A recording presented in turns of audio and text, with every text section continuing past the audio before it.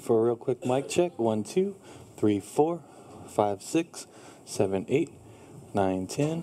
One, two, three, four, five, six. Drew, you want to go? I got both. Either one. Green mic, check. One, two, three, four, five, six, seven, eight, nine, ten. Blue mic, one, two, three, four, five, six, seven, eight, nine, ten. Bill, we're good there. I'm going to go ahead and leave everything on. I'm going to mute them. for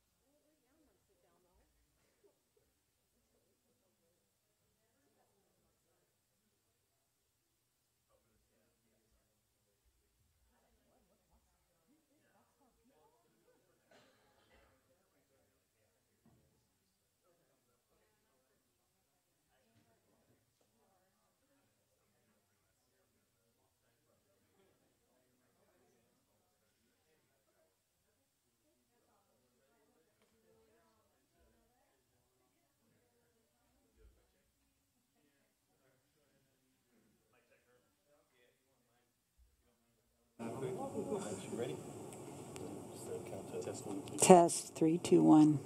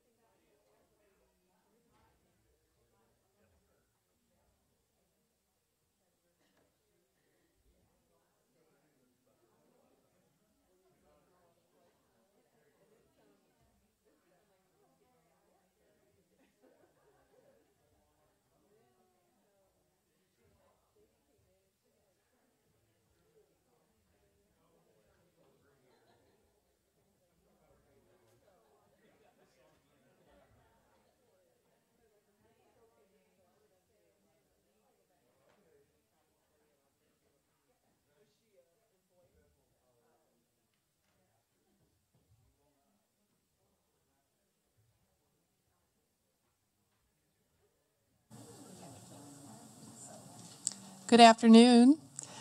Welcome to the open forum for our presidential candidates for Carl Sandburg College. I'm Connie Thurman. I am the Dean of Institutional Effectiveness and Human Resources at Carl Sandburg College. And just to share with you the process of open forum, uh, please uh, quiet your cell phones. And at the time that you'll have an opportunity to ask questions, um, mics will be passed, so wait if you can until a microphone is handed to you before you ask your question. We have an hour and 15 minutes. Uh, we'll, our candidate will have an opportunity to share her vita and the reason why she wants to be the president at Carl Sandburg College. And most of you know Dr. Ellen Crowe. She is our current Vice President of Academic Services, and we welcome her and Dr. Carl, the floor is yours. Thank you. It's a little more crowded than it was earlier, so welcome. Um, the first thing I would like to say, and I mean this in the most sincere way that I can say it, is thank you for taking the time and being a part of the process for all the candidates that are here because you're facing one of the most important um, decisions that an institution can face. Um, and choosing the next president is a critical part of the mission of a college and the sustainability of an institution. So, in all sincerity, I appreciate your participation in the process. So, with that, I'll start with my uh, Vita. And um, it's so funny because today I've probably talked more about myself in however many hours I've been here than I probably have in the last four or five years. So it's not easy for me to talk about myself or the things that I've done. And Um, but I'm happy to share that with you because I think it'll give you a, a, a good perspective of where I've been and how I how I came to be here because it really has been a journey for me. So I started in education working for Special School District of St. Louis County. St. Louis Special School District is and uh, was at that time an icon for the country for providing special services. We provide special services, everything from the bus drivers to occupational and speech therapy to special education to over 25,000 children. We have an employee field of over 5,000 employees in 22 school districts. We have our own buildings and um, and are also housed within the local schools themselves. So it's quite an operation. It was one that I was extremely proud to join, and I was considered a self-contained teacher, which it wasn't something that I was really particularly proud of a title, but self-contained meaning that I taught all the academic areas for individuals with disabilities. There were varying age groups and various range of disabilities. So I was responsibility I was responsible for their academic progress, and we were technically tenants in um, other districts' buildings. So I enjoyed that. It was, uh, and it's an experience when you want to see the world through somebody else's eyes. Go in a classroom with people, and, and one of my favorite activities would say, Why don't you draw me? Just, you know, it didn't matter what age they were. I'd say, Do a drawing. I mean, if you want to see what you look like and your perspective, have somebody draw you because all your characteristics come out. So, um, I did that and I pursued my master's degree and my graduate degree. And during that time, I also, and I don't really re- realize how I did it, I was also a, a, a high school coach. I worked for a non for profit and I was a special tutor, a tutor for after school things as well. So I don't, and then I was also going to school at the same time. And looking back now, I think I should be more tired than I am. But um, so those were great years and I really enjoyed myself. And we were tenants in other buildings. We serviced the students within that district. However, I had two bosses. I had the principal of the building, and then I also had our district administrator. And my life changed rather abruptly at one point working for special school district and that was we were it was mid-year we were going to move our classroom from one classroom from one building in the district to another building, and that building had just built a beautiful wing, and we were we were going to be in the basement, but we were going to be in the wing, and it it was a, a an exciting time for the kids. There were going to be in new desks and new classrooms, new friends, new teachers, and we tried to make it as positive as we could. And my first meeting with the principal, I walked in to introduce myself and say, We are so excited to be here and we're just thrilled. And she turned to me and said, I don't I want you to know something. I don't want you here and I don't want those students here. And I don't like you and I don't like your students. And I was like, okay, you know, nice to meet you and let's just move forward. And I looked at my administrator and my administrator did nothing and it was I think a real eye-opening moment for me because I knew that there were, you know, some hard feelings about different students and different types of people, but it was the first time that I really felt like I couldn't defend them, and I was not going to allow that to continue if I could control it. So I wanted to make a change. I wanted to make a change for my students. I wanted to make a change for teachers and be an advocate for them. So I told myself when a position opened in administration, I was going to try and get that position, and if I got it, I would make a difference. Well, shortly after that, a position opened, and I applied for it in the administration, and I became an administrator for Special School District, and I was what they considered an area coordinator. So I was essentially the administrator for all special services in three major school districts. So I did everything from the bus drivers to the speech pathologist and the physical therapist and supervised that. And yet I felt like I really wasn't making an impact where I wanted to make an impact. And so um, an opportunity opened for a faculty position at MacMurray College. And um, MacMurray College is a small liberal arts institution in Jacksonville Illinois, and I thought I'm going to go and I'm going to teach special. I'm going to teach these people how to be a teacher, how to advocate for their students, and I'm going to make a difference. So I got really excited and went, and I was a faculty um, in a program of one for me. It was it. I was the only faculty member of special education, and um, loved it. Loved it. Just knew that I was making a difference. I was giving people real life experiences and knew that I was going to impact these students and then their students would be impacted by that. And it was a, a great time for me. And so I eventually became the program chair. And meanwhile, I was also the faculty advisor, so I advised all the students. Then I moved to um, department chair and continued to teach and continued to do the advising. And then it, uh, we had administrative changes at MacMurray, and it was very sad for me because MacMurray's cornerstone was that they had a thing called the core curriculum. Everybody went through that curriculum. Everybody did. They were considered essentials readings of the period of time. And so everybody hated core you know they had the students had t-shirts made up of i survived core and so it was really truly the bedrock of some of MacMurray and so new administration came in and um, core was taken away and enrollment kind of dropped and it, the feeling changed on campus and so there was an opportunity at quincy university to become the dean of school of education and i thought I, I can do that. I would like to do that. I really, um, I, I want to continue to make an impact, and I felt like I wasn't anymore. And so I went to Quincy University, and we provided um, every, we had both graduate and undergraduate. I taught, I was the dean. We had a satellite campus in, in Springfield that we also did distance education with, as well as offered um, classes there. And so again, I felt like I was really doing something that was the right place for me at the right time. But what was important to me was the feeling that I got when I went to Quincy University because I had I we did have internet, but I chose to drive my application to QU. And I felt that I'm very much a behavioralist and I have to I I have to feel it and see it and not just hear it. So I pulled up at QU and I had the application inside and I thought, okay, I'm going to see what happens. And if it's right, I'll know it's right.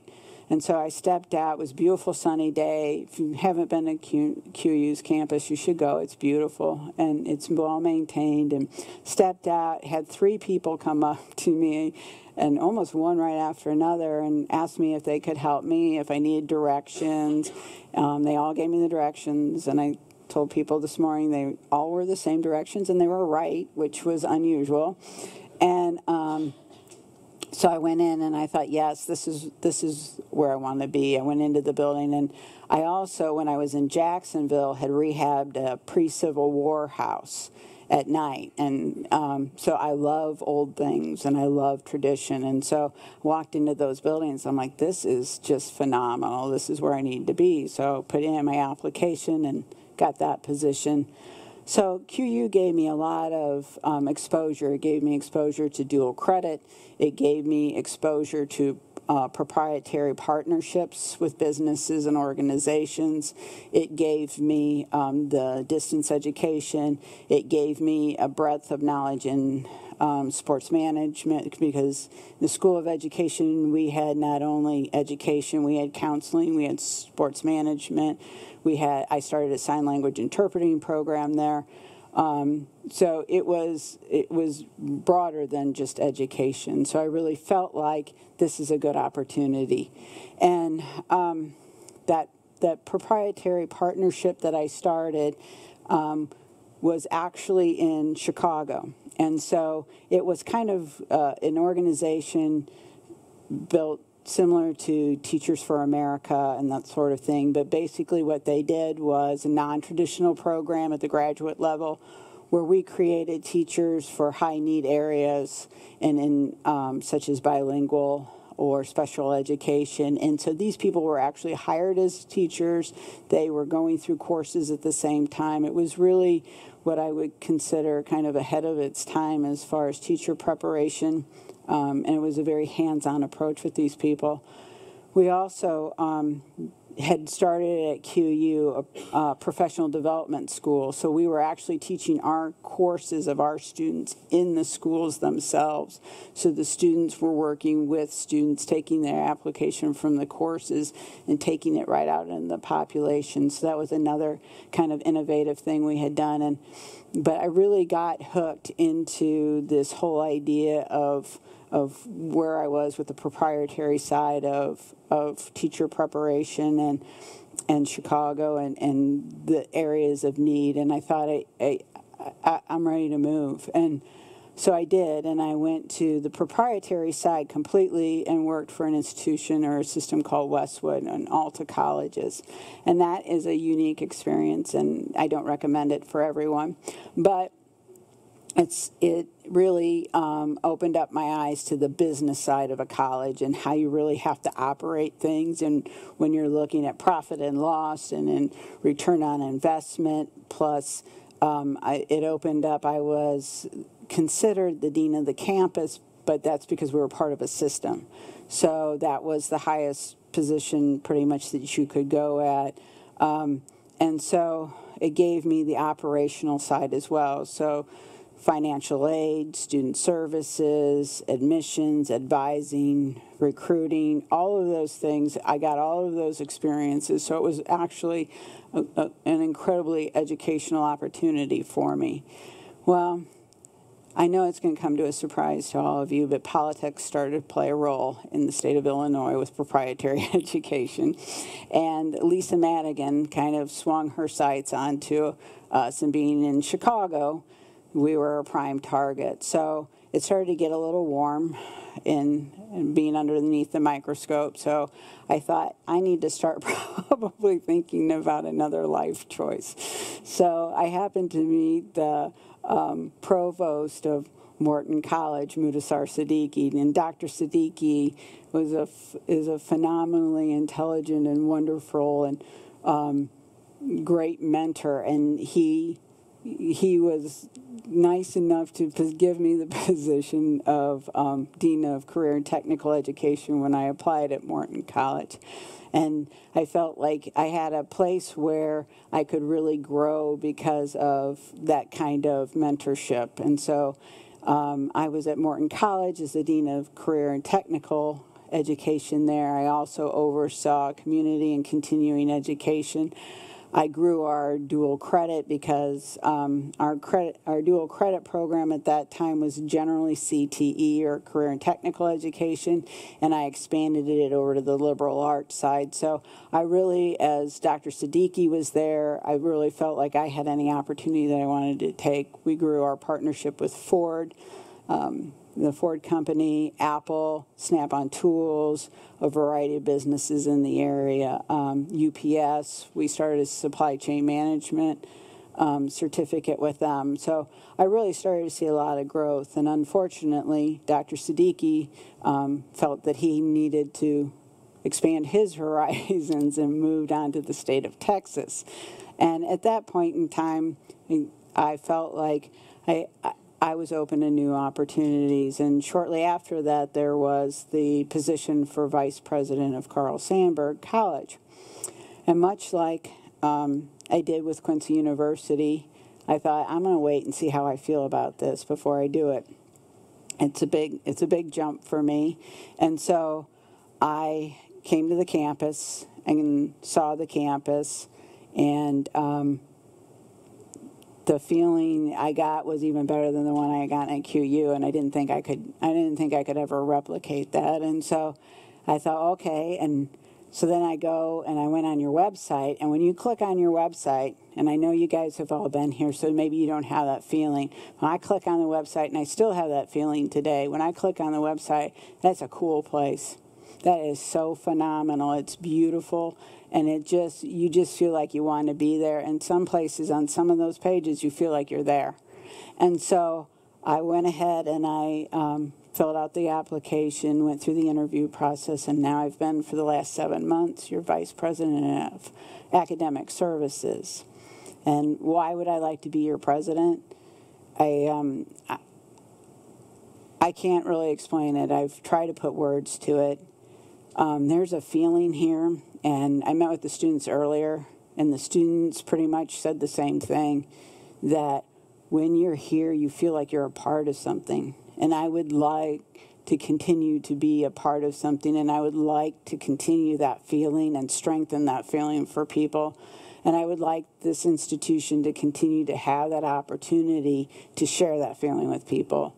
And um, it's been, you know, for no other word, I know I've had conversations with people. It's like a family, you know. And um, I said this this morning. There's a line down here. You guys can't see it. My family is, you know, where we sit and we're probably our biggest arch enemies when we're all together because we try to figure out how to get each other and those kind of things. But, you know, or we'll be like, did you see what, you know? And, but if any of you tried to do anything to any of my family, that line comes up and you don't cross that line, you know? And that's how I feel here.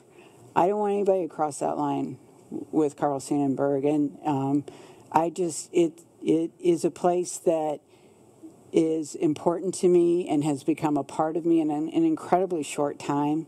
Um, the people here make the difference when you talk to the students what is important to them, what has been the best thing about here it is the faculty and it's the people that they know. And one student said today, I didn't, you know, I'm in, in you want to understand education, listen to the acronyms that are coming out of our students. They're the same that come out of somebody that's been in administration for 10 years. It's I'm part of MOD, WOC, and, you know, and it goes on and on and on. And, and then the one woman said, and I didn't want to be a part of any of those things. They came to me. And I was like, that's right, because you feel yourself pulled in and you just want to be here.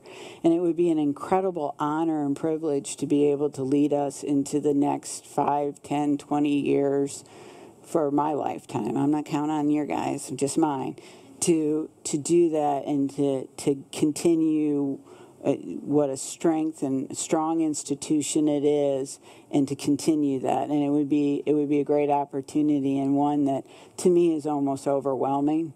And um, the responsibility I feel for the people that are here and for the program that are here and the students that are here it's it's something that I just don't take lightly and it, it would just be a privilege to be able to do that. And I, I hope you realize that feeling that you generate in people. And if you don't, if you don't feel it, probably need to have some kind of discussion or we need to to you know kind of figure out why because you really can't go hardly anywhere here and not feel that way. So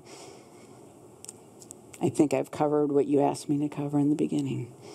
Mm-hmm.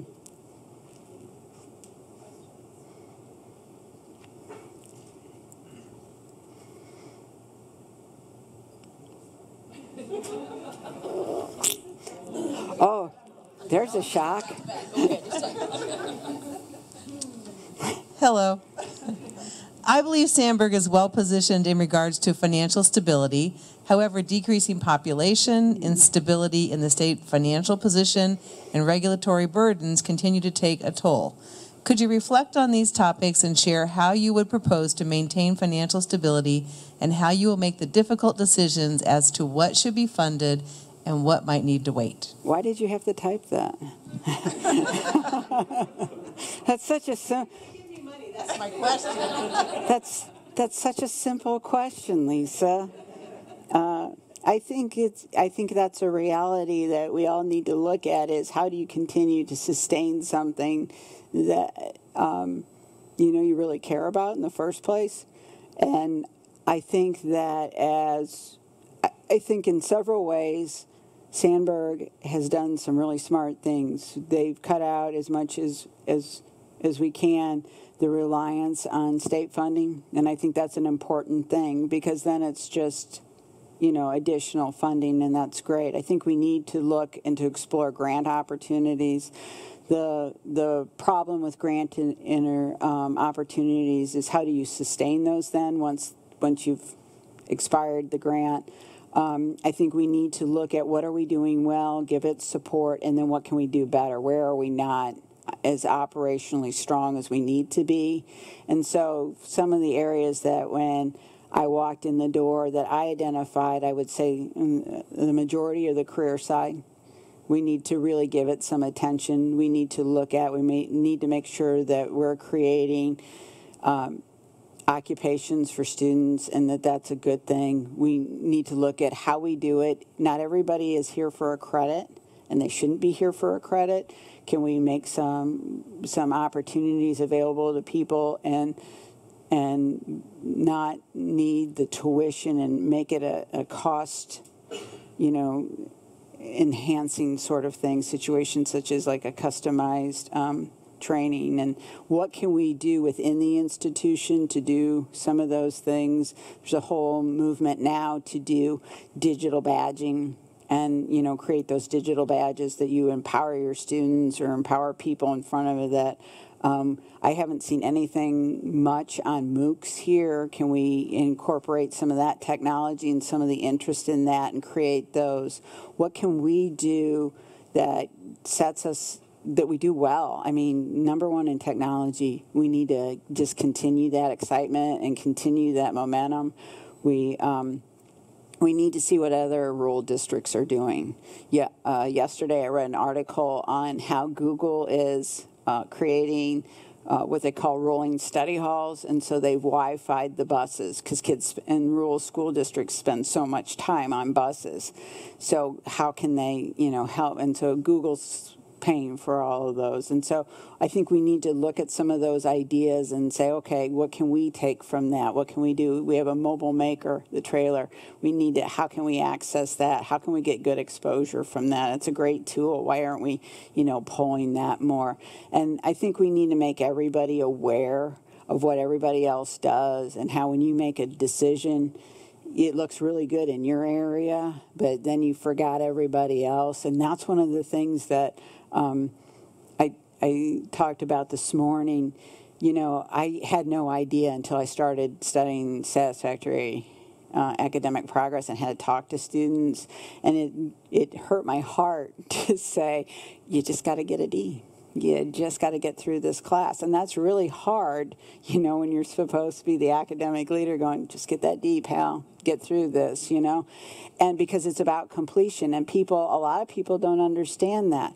People that haven't, you know, faculty, they why why would faculty need to know about financial? aid? Because they need to understand what impacts that student as far as completion, you know, um, and they need to understand that yeah, could the student have worked harder and gotten a B? Yeah, but right now we got to get this kid through, and then otherwise they lose financial aid, you know, because they're on dismissal. And so I think we need to have those kind of conversations, and I think we need to, not that everybody should be an expert in financial aid. Nobody, mm-mm, mm-mm. Um, I already know, no.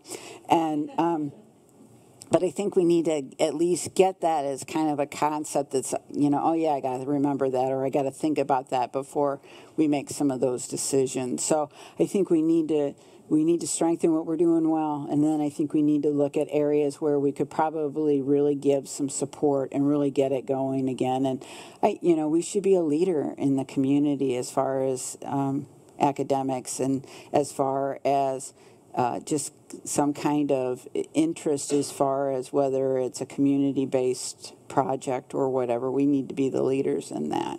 And that's district wide. So we also need to know what's in our district and where the strengths are. So maybe if it's, maybe if the field of a large veterinarian, large animal veterinarian has gone away, maybe we're really looking at, okay, how can we support that area? What can we do to at least give some kind of support in, in employment in employees? So I think it's knowing our district too.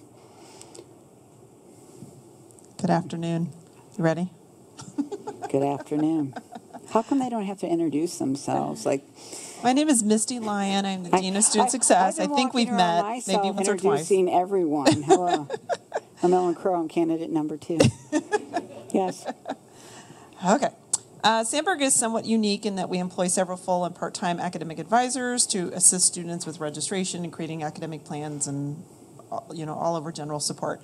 Um, can you speak to um, Sandburg's advising model, kind of how that compares to previous institutions, and what is your philosophy on advising? I think it's important. You know, I mean, what I what I it's different than it is at other institutions. At other institutions, you don't even have to see an advisor. You know, you can register online, and then you get the the student coming that's taken four classes that they didn't need, and they're like, "Well, why did I take these classes? I don't know. Why'd you sign up for them?"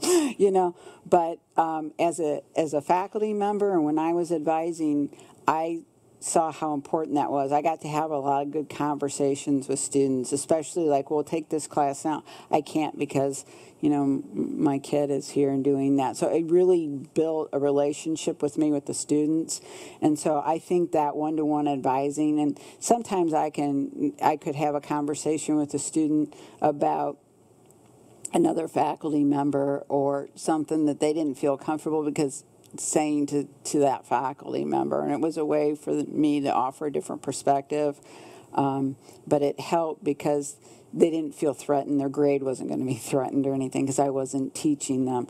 So it, it gave them another to me another layer of support. So i think it's good. I think it's a good model. I think it's important especially here because you want to know what your students are doing and you want i think it would i would hope that it would help with persistence and retention um, I think I think we need to get better about sharing some of that information, perhaps, and um, making sure we're cl- closing that communication loop, and um, and I think uh, really embracing the fact that the students are all of our responsibilities, no matter what role you play here, you know, and it doesn't matter because I may have made. You know, a friendship or a relationship with somebody, I don't know how in financial aid, but um, that, you know, I can go talk to that person, you know, and, and they may know something and they should say something to somebody else. And I really think you can give good comprehensive services when you have that kind of relationship.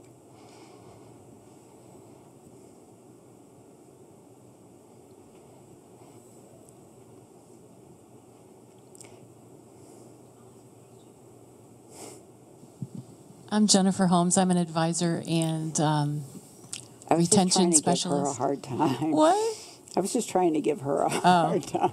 Well, you might not know me. Um, everybody's worried about retention. Are there any retention uh, policies that worked at your former places of employment that you think we might apply here? Just, I mean, I don't need a blow by blow plan, but just off the top of your head. I think there are a number of things that we can do. We need to start looking at scheduling and how we're putting our classes in. I think particularly when you're looking at the CTE side and you're trying, and, and no offense to anyone, but you're trying to fit in the gen eds because they're not here for the gen, general education pieces. But you know, it's really about trying to get them to understand that importance. A lot of students will put those off towards the end, and you know, trying to make sure that we're building schedules where we can have students here and maximize their time. So that's one piece. I think another piece is that communication. I think a lot of people have some really good communication about students, and we're not always, we don't always know it. We don't even know what we know sometimes, and it's about having those conversations and sharing that information about students. Um, so I think looking at that, maybe looking at how we're offering courses, um, whether it's face to face or online or hybrid. I know nursing has taken on that um, piece of um, offering a hybrid CNA. Uh, I'll call it CNA. I know it's not called that, um, but where the lecture piece is online and then the hands-on is and so that really helps our students in carthage and so i think having some of those conversations of this is great how can we do this you know better and how will it how can we transport it throughout the district or can we not you know and so i think it's those kind of conversations because i think sometimes we get so tunnel vision we don't think about that. And that's the same thing about making those decisions kind of here and not realizing what it does as a kind of a, an effect out. So I think I think those are two pieces I would I would really suggest we look at.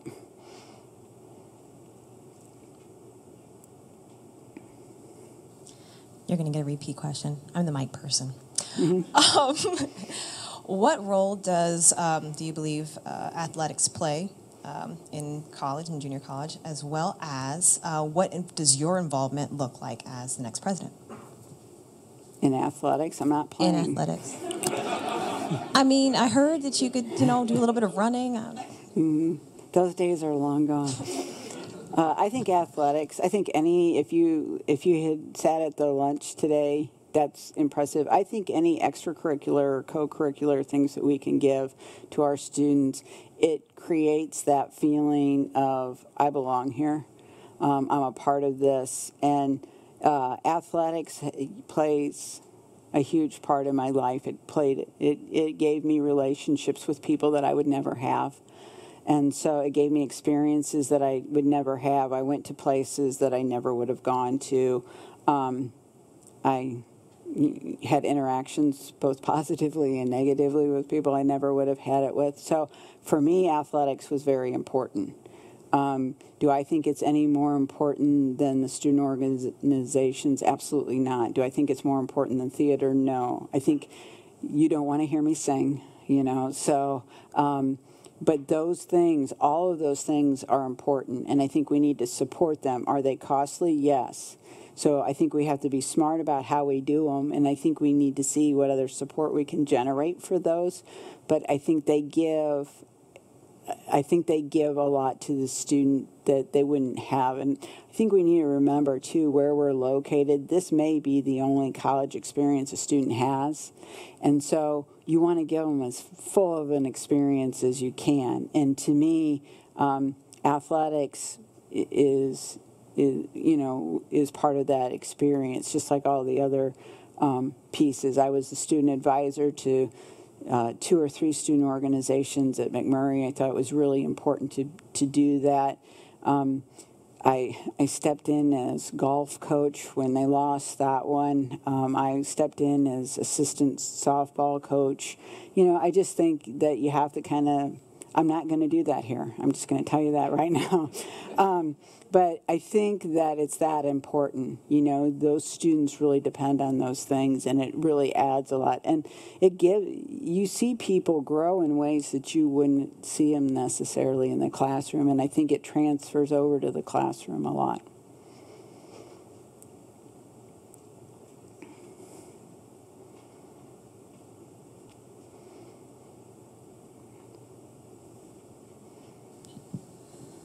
My name is Margie Clay. Hi. I don't know if we've really met or anything. anyway, I was a student out here back in the 80s, and back then it was more of a coming back to get a second career. Mm-hmm. There was older students. Mm-hmm. And sometimes I feel I talk to some of the older adults, and they don't feel comfortable doing online classes. They've mm-hmm. said that to me. They want to be in lecture classes, and I know we have to move with the technology, educational moves, but how are we going to make them feel comfortable? Or are we beyond that? I mean, I feel like they're forgotten. you know, and also adult ed. We used to have, you know, an adult ed program, and I hmm. feel that's still necessary. And hmm. I don't know. I think that's part of community college, to be mm-hmm. honest with you. Mm-hmm. My father is 90. He still goes to uh, St. Louis Community College and swims. And so he's never graduated. We've always tried to give him a hard time. He's been going there for about 15 years. I'm like, Dad, it's a two year institution. But I think, I think it's important. He, he, he sees the community college as an important part. And the reason I tell you that is also because they don't have internet and they don't have cable. And so going there is a kind of a culture shock at times. But um, I recognize that, and not everybody learns in the same way. I don't think I would enjoy an online textbook. I think there, uh, yet I have friends that just, you know, c- consistently read and consume book after book after book online. So I think we always have to keep in mind that it doesn't necessarily have anything to do with your age. It has to do with your learning style. And so I think we have to always address different learning styles for individuals, and we have to try to give them those opportunities. Um, I'm not sure that I would do well in an online class, and I don't want to ever think that we've moved beyond something if that's what the community needs or, or wants. So I think we just have to make sure that we're smart about how we offer them. And, you know, if it's a situation where you have somebody that kind of wants to explore that, we have the hybrid and uh, opportunities and, you know, the, the multi, um, the multitask opportunities, offerings, and so they can kind of experiment with it a little bit if they want to do a little online or do the the robots. And I think by by offering those multimodalities, that helps somebody kind of make that transition. If they want to stay face to face, we just got to make sure that those are available to them and, and that we're doing it in a smart way. And as far as adult ed and those kind of things, I think you, you know y there's a need, and if we can't physically offer them ourselves, I think we need to support the agencies that do. And um, I think you have to always be mindful of there are things that you want to do. There's accrediting bodies that are watching you, and then there's a budget that you have to keep in front of you at all times. So it's it's not an easy juggling act. But I think you know in some way or another we always have to go back and assess: should we be doing this, you know, or should we continue to? Yeah. Mm-hmm. Mm-hmm. It's like uh, preschool. You know, a lot of those those things. The state says zero to three, zero to three, zero to three, but then they cut the uh, early childhood teaching certificates and programs. So it's kind of hard to do that when they're not supporting it. So, Hi, Alan. hi, James. I even smiled for you. I know that was kind of what took me back. Yeah, yeah. As you know, mm-hmm. we have in, experienced a huge decrease in faculty numbers over the last 10 years or so, about a 25% decrease. And in an age of us always doing more with mm-hmm. less, as the president, how would you support faculty as their administrative roles increase and their time decreases? And secondly, what do you think a good faculty administrative structure looks like? I feel that this is a loaded question. um, I think, well, first off, I you know I think all all institutions are unfortunately seeing a decline in full time faculty, and not I don't I don't think it was too long ago that there was an article out about some of the the the faculty and the numbers of faculty at different institutions. And I believe though that this institution has the same ratio for like full time and adjunct as it did 70 70% adjunct, and thirty percent. So that's that's interesting that that balance is kept. You know. Um, however, I think you always want to have full time faculty. I mean, you always because you always want somebody associated with the program because that really gives that connection to that student. So when you can, I think that's that's the direction you want to go. You don't want to try to do it through an adjunct piece, but um, unfortunately, as enrollment declines, you have to make some of those decisions, and so usually, when you can't fill the classrooms, those are where the the faculty decline comes in. I think as as those challenges come on, we need to look collectively of what can we do to strengthen the, the, the faculty because everywhere you go, people are going to say it's it's faculty. You know, what do you remember? It was the faculty. You know, they don't remember who the vice president was. They don't remember who the president was. It's always that faculty connection. So I think we need to support our faculty and um, look at where can we increase if we can increase enrollment maybe in one program and it will the supporting classes then we can give some support there. So I think we have to look at it strategically. Um, I I wish that I had some magic thing that we could bring enrollment and that you know and just bring the numbers up. But there's there's not an easy solution to it. So I think what we really have to do is see what we're good at and strengthen those and then where are those areas of opportunities and strengthen those so that we can create some more full-time uh, faculty positions. That would be, you know, that would be a great goal. about the additional duties and the things that are added on to faculty, I, I think one of the things I have noticed here is that everybody wears about six different hats. And um, one of the best experiences, the way to see it is I went to a Cardinals and Cubs game when I was in college, and there was this little guy sitting there, and I was at St. Louis, and he had he had a hat that had two bills, and on the front was St. Louis, and on the back, it, so he had literally taken a Cubs hat and a Cardinal hat and sewn it around. So he would, when the Cubs were winning, he was a Cubs fan. When the St. Louis was winning, he was a St. Louis fan, and you know that's what I see a lot of here. But they've got about four or five bills, you know.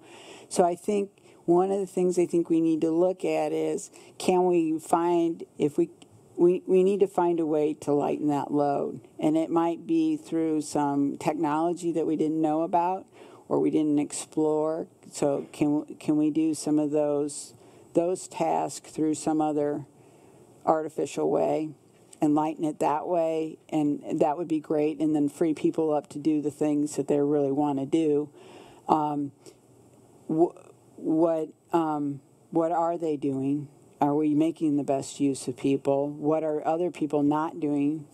You know, could they, can we do it that way? And then I, I would hope that we could bring additional people in, but I, I don't know. I think you really have to sit and look at where we are and where those areas of need are. Um, the ideal faculty administration role is whatever is best for the institution.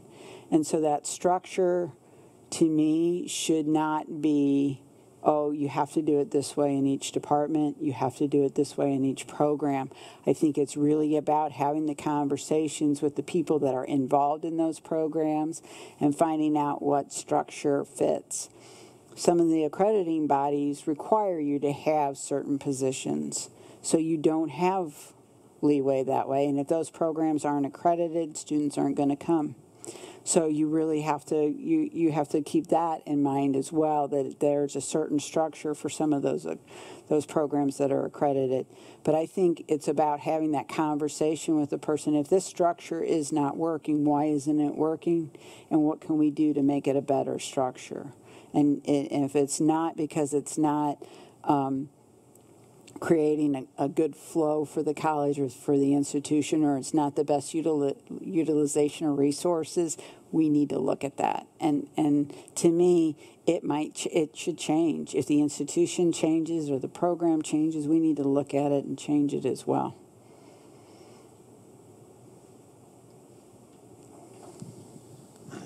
Hello, Robert Wolford. I'm a student here tra- tutor and tutoring center. As a non-traditional student here at Sandburg, what plans or ideas do you have to help recruit more non-traditional students and or making classes more accessible and easy to them? I think we have to look at this is probably one of the first institutions that I've been at that there's not more evening classes and I'm not saying that we do evening classes but there was a conscious decision to do that there was a conscious decision to go to 4 days a week all of those things were made obviously with things in mind so I think we have to look at um, and I would assume from everything of, of me being here is it was based on students and the need of students because everything here is student focused. So again, I would say we go back to the students, to the non-traditional students. What what is it you need? I um, ran programs where we ran them in the evenings and they were eight week and eight week and then they were two classes stacked on each. And so the student was full time in but you know a very short time commitment. And so i think we need to look at that. What is it that a, a non-traditional student needs? And um, you, you never know because now a non-traditional student isn't just age sort of thing. You know it's somebody who's coming back somebody who has a family. Those are those kind of things that we're not you know typical. Now everybody's taking their year off and for some of us like if i had done it been like five or ten years off. Um, but you know we need to we need to understand what is it that the students need and what would help them best. And so it's reaching out into the communities into the districts. Is it is it online? Is it hybrid? What is it? Is it face to face is it weekend? Is it friday saturday? What is it you know that we can do that would help students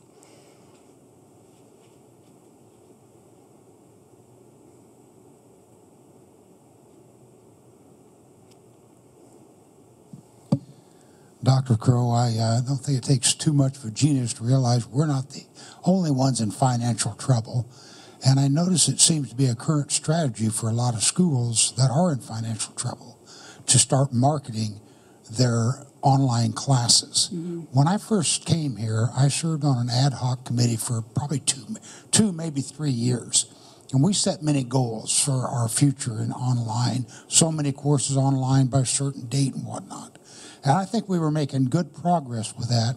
However, when accreditation come up, problems with HLC, problems with, with the ADA, it just kind of went away. So what I'd ask you is where do you see online learning in Sandburg's future? I think it, it's an important part.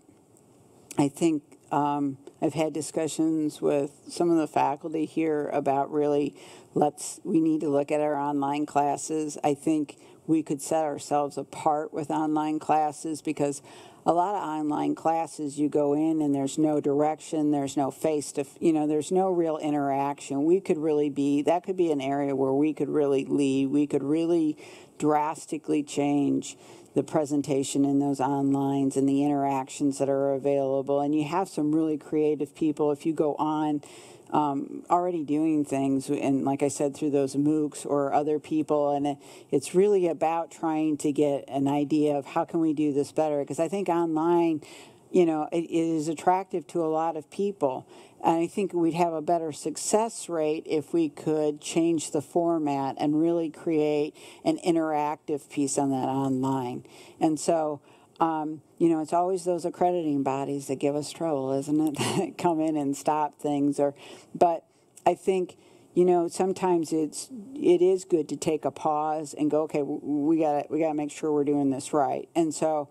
Um, I, I fully encourage that. I think that faculty faculty can be incredibly um, creative when just let go, you know, or they're very good. Most of the people that I've worked with as faculty, and including myself, it's like, here, try it this way, or did you think about this, or do this. They're very sharing, and but I think that's an area where we could really accelerate and, and be a leader. And I know we're part of SARA which is uh, the consortium and the agreement for across state and international students. That's an area that if the federal government doesn't get too involved in, and um, we, we could really accelerate and, and use those agreements that we have.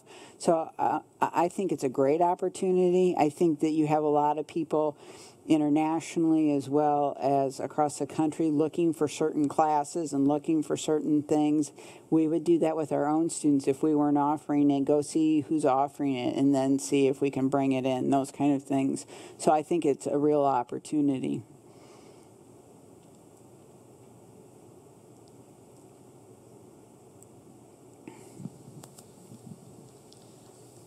Violence and school safety, or school shootings are certainly a concern of mine as both a parent and an employee. So, can you talk about any resources, training, or plans that you might have to um, conquer campus safety? I think that's I think that's um, on everybody's mind first off, and I think it's unfortunate when you're a community college trying to trying to keep that in mind and yet not close your campus off. You know, and especially this campus. I mean, there are so many um, access points and so many places that are, are fabulous, and then if you closed them off, you would lose those kind of pieces. But I know that. Um, Mr. Norton and um, Dr. Sundberg and myself, those are things that we discuss quite frequently. We just recently discussed um, like a protest policy or allowing students to gather and those kind of things. It's it's unfortunate. It's a reality.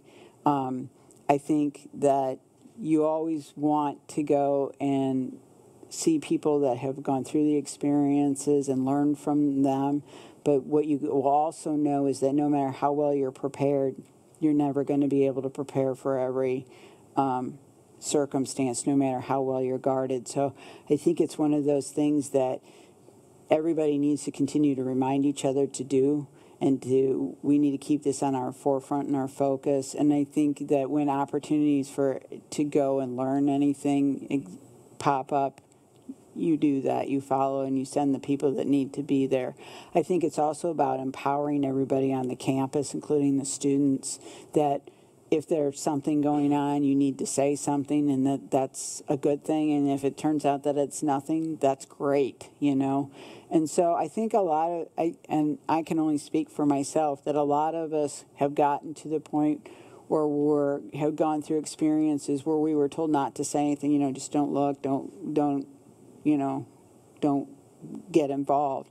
And I think that's been kind of um, what you see coming through fruition now is that people don't always get involved. People are afraid to say things, and we need to. We need to know that we're our own advocates and make make it a safe place. But I think as far as trainings or anything that's available, you always see where. Um, leaders of institutions that have gone through these kind of things those are some of the things that you really want to attend because they've lived through it they know what they didn't do and so that can kind of help you this has to be one of the, aside from a campus that was not a, a, community college campus, this is one of the safest campuses as far as I've seen with like the darkened windows and um, some of the access codes and those kind of things. Those were things that are, not every institution or every um, community college has. So I know that there, this institution has been very mindful of that ahead of it.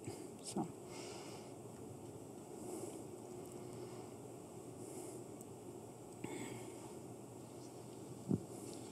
You've spoken a lot about keeping the lines of communication open, which I totally agree with. Um, would you be able to speak to how you would go about communicating with staff, keeping those lines open, much like faculty have their once a month assembly?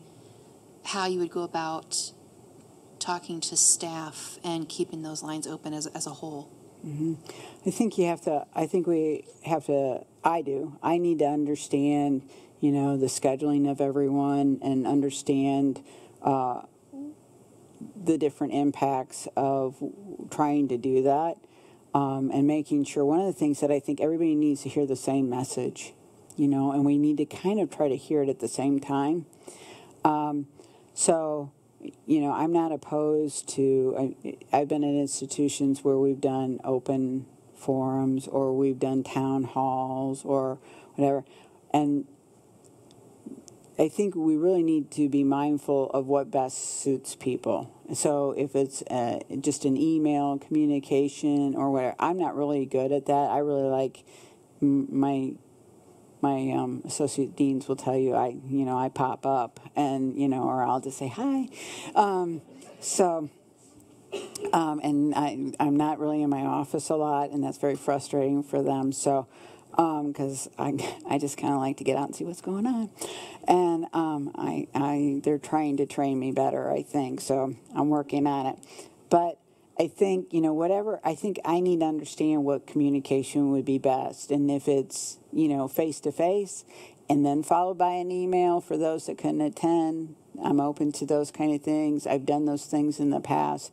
Um, when Lisa Madigan did her all out attack, uh, you know, and it was just a broad, sweeping attack, you know, we, we were caught in that. And it, it was highly offensive to the students and it was highly offensive to the people that worked there that had dedicated their lives to these students. And uh, we were all stereotyped and, you know, we were all criminals and we were all these things. And, she'd never even been to our campus. She had never even had a conversation with either anyone that I knew of. And so um, it, it's those kind of things. So that's when I started saying, let's let's have meetings. Let's you know, if you can come, you can come. And we had three sets of schedules because our last class ended at midnight, um, and you know we were moving. we were moving through our curriculum. So.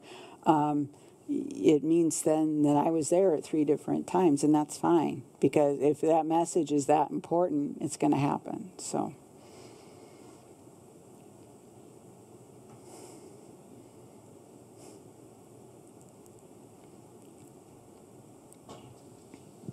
It's me again.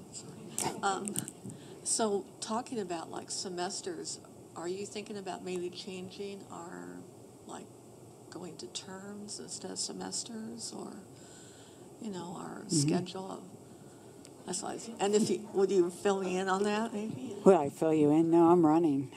Uh, I don't change.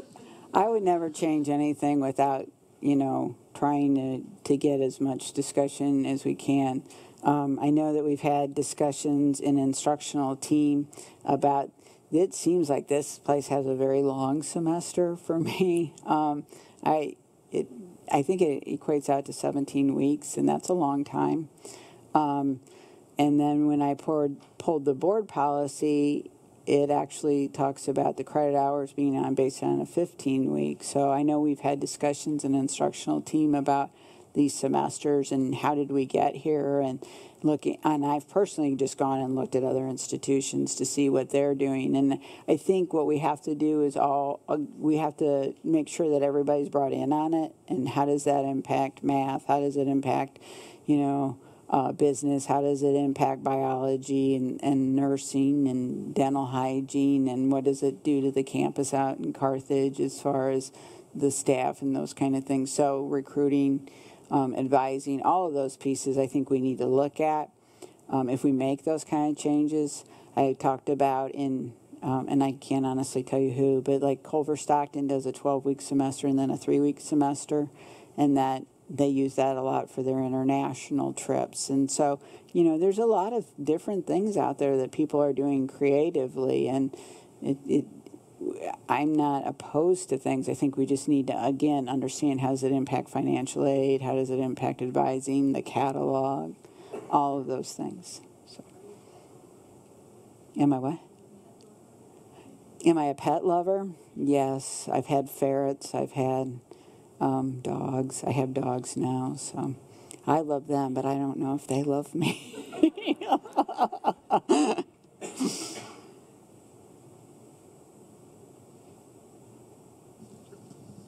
Um, hello. Hello.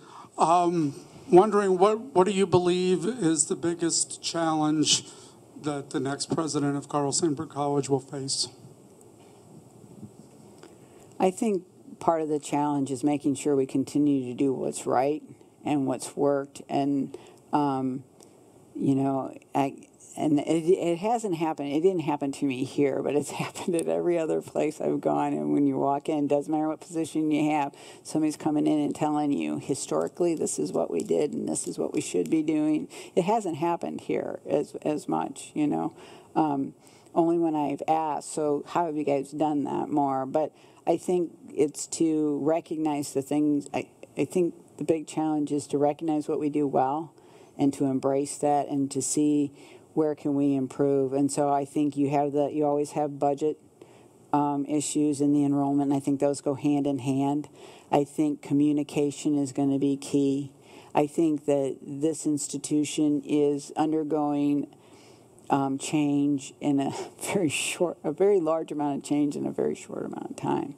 And I think it's about making sure that um, people feel good about those changes because change, you know, I've obviously been through a lot of it and I'm okay with it, but I, there are a lot of people that it doesn't make feel good, and I think we need to recognize that and and and uh, see that everything is going to be okay, and then continue on. And so I think that's a huge challenge to make people feel secure with change. And then so you have the budget, the enrollment. I think the idea of the change, and then I think the the third thing is pushing us towards the future. And because then that kind of comes with that change of that I'm not eh, I'm not thinking that we, we need to make a huge mark or anything like that. We just need to start having a quiet sense of urgency that we need to start doing things and, and kind of wake up out of complicity.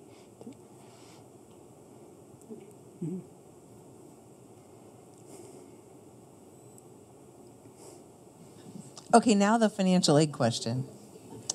We find more and more families are not prepared to pay for college expenses, even the low cost of a community college. What do you see as the role of community colleges in making college affordable and reducing the burden of student loan debt? I think that we have to. Um, I think some of the financial literacy things are good. I think we need to do that. I think, um, I you know, we didn't. I, you're probably going to see a change in attitude with the generation that has just gone through that recession, because when you look at my parents and my relatives, they were in the depression, and so there was a fiscal responsibility that lived with them forever and continues to this day to live with them, and so. I think that you have in between there some of we're getting where that though nobody had that in their family as much and so i think the whole idea of the the financial literacy is really important for people because it's really hard to understand some of those pieces that when when the job market fell out and and those kind of pieces. So i think that's really important. I think the the the things that you can do to help students and families understand what the investment is and how how does this play out in the long run i think that's incredibly important. Because you're not thinking about that as a student at all. You're thinking about i'm going to go here and i'm going to do this and this is going to happen and you don't think about tuition and i can tell you that i can remember going to st louis u in the summertime, and, I, and they offered a deal in the summertime it was half tuition. So I was like going to gobble that that up, right? You know. So I registered for all the classes, and I miscalculated how much this was going to cost. And I worked, you know, I was working four jobs. I was going to pay for it, and so I was standing there writing the check, and you know, I had out to St. U, and then they told me the amount, and I, I'm not kidding my shins started to sweat. And I can remember that feeling, and that's a feeling that I never wanted anybody to have, and I never wanted to have it again. And so I think that, you know, we need to try and do more of that up front. And I think we need to try to get to some of the high schools and even almost to the middle school and start talking about some of these things because these are things that, you know, parents didn't have to think about for a long time in between, you know, that depression. And I know we've had recessions, but it was a big one this this last one. But it, until then, things were fairly fluid. So I think those kind of pieces, as much as we can educate people, it's really important. And you know, and eh, you know, you look at that first that large amount, and then talking to people how can we break that down and this is what you can apply for there are so many scholarships that go you know unused and it's not a bad thing to get a scholarship it's a great thing in promoting that and all the different financial opportunities that are available for you and i think we need to get people educated in that way mm.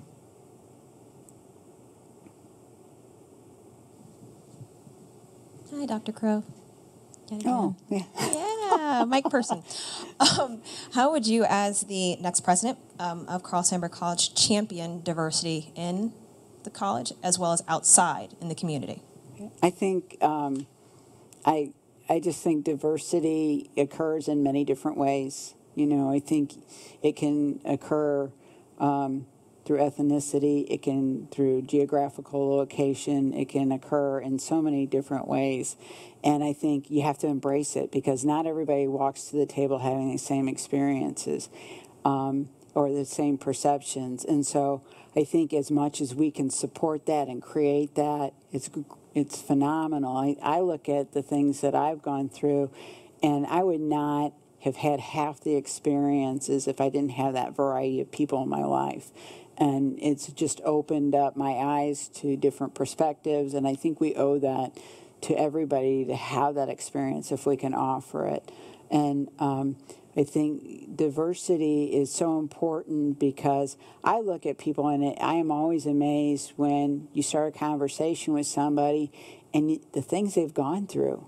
And you don't have any idea looking at them that somebody has endured that or gone through that or or had that experience. And so it truly gives you an appreciation not only for what you've experienced, but for for what you haven't had to experience. And I, I think that's important. And so when we're making decisions or when we're evolving as an institution, having that diverse perspective is an, is an important part because you can't know all or see all. And you really need that input from as many sources as you can. So I think diversity is something that you you support, you demonstrate in an appreciation for, and when the opportunity is available, you embrace it and you make sure that it becomes a part of the institution.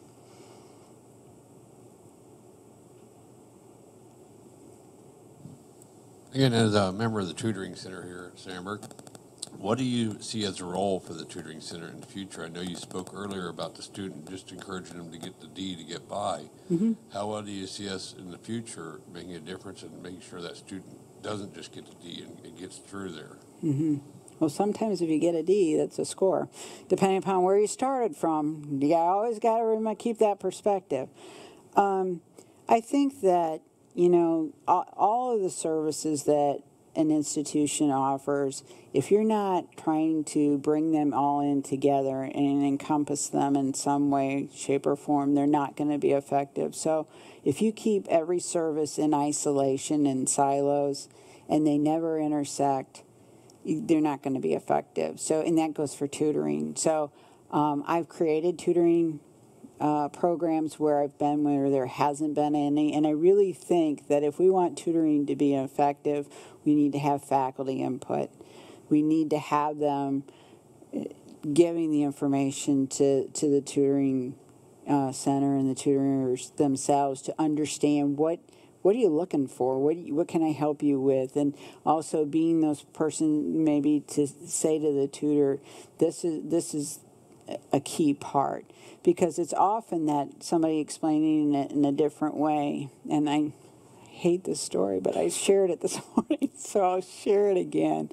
Um, when I I am not a fan of school. I know I stand here asking to be your president, and I'm not a fan of school. But I think part of that is because it was so hard for me. And um, there was a, a, a moment that we don't. We don't think alike. You will never, ever, ever think like I think. And there are people in here that can attest to that. But I can remember the moment at which I was devastated to realize that I didn't think like everybody else. And it was uh, in, in younger years, and it was a science exam, and it was a final exam. And it was, um, the teacher was, you know, using those innovative strategies and said, You're a piece of pizza about to be eaten, tell of your adventures. Well, you know, most people go, Okay, so go into the mouth, the saliva, the digestive system, blah blah blah. Not me. Mm-mm. And I, this is when I'm thankful my parents don't have internet. So I I know I haven't told them this story. Um, not me. I was, hey, I'm a piece of pizza. It is hot in this oven. Really, Ellen? Really? What were you thinking? And whew, I can hardly wait to get in that box and be delivered. And, you know, I was all into my creative juices were flowing. And I did get to the part, and I can only imagine what my teacher was doing. She was reading this, you know. I did get a little bit into the sciences, and, you know, I, I think she felt sorry for me, so I passed. But um, I can remember going, out, hey, what'd you put for, you know? And so they told me, I was like, you know, your heart was like when I was standing there writing that check, sweat breaks out all over your body. This is a final exam. I'm not going to go on, you know. And and then they go, What did you put? And I told me like, You did what? And I can remember that moment. And it was a horrible moment. But it was also probably a really good moment for me to realize I need to like start thinking like other people a little bit or get some help. And so so I did, and when when uh, so I got to the point that in high school I sat next to um, a person who was very bright and never had any problem raising their hand. You know, oh, I know, I know, and I almost didn't pass classes because I wouldn't participate because of the pizza incident. So I would I would tell my friend the answer, and she'd be like, oh, and oh, that was a great idea, and she'd be like, hey, nice one and but we're still friends it's fine because that was and that's how i got through you know but then we would have those conversations and through those discussions, I understood some of the things that were being said that I didn't get before. And that's really where that tutor comes in. It's a different voice, it's a different process, it's a different this is how I do it, and, and you can do it too. And so we need those kind of things. But we need faculty input or whoever they're tutoring for or whatever to say, this is where we got to get. And so it really needs to be kind of a joint piece, I think. Um, because I don't want the tutor telling somebody uh, differently than what the main idea is, and I want to have that discussion with them. So. mhm. I don't want to hear the pizza story again.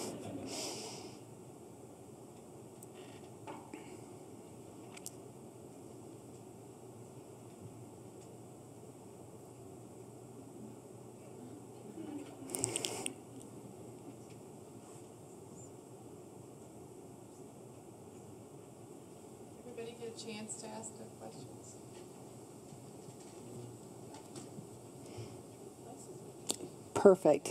You want this? it's real. It's really attractive. Well, that concludes our open forum. Thank you so much for your questions and participation.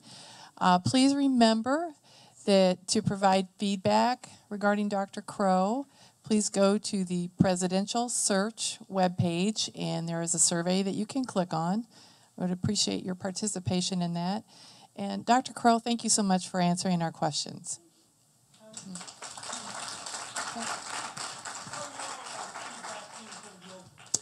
How long are the feedback surveys going to be open? That is the question. What is it? Through next Friday. Yeah. mhm. Okay, you bet. Thank you, guys.